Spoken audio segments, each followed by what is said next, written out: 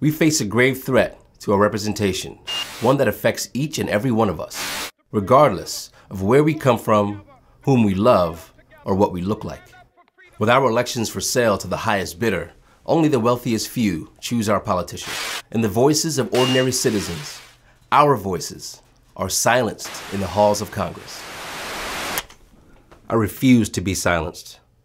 That's why I support representation for all people, no matter their income.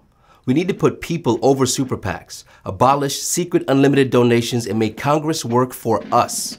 We, the people, not their corporate sponsors. I will not be silenced by the corrupt, greedy few.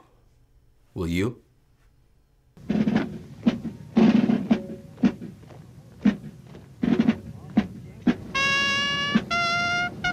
I get an amen?